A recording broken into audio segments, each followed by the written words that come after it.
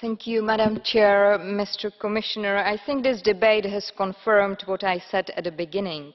We all believe that each individual must be treated with dignity and respect by our governments and our society. This will be endorsed tomorrow when both this legislation and the pilot project that supports it are adopted. 600,000 euros will be available to make the web accessible, thanks to the members of this House. I hope that the Commission will use this money wisely. Let me end by thanking to all the shadows and colleagues that expressed their views today.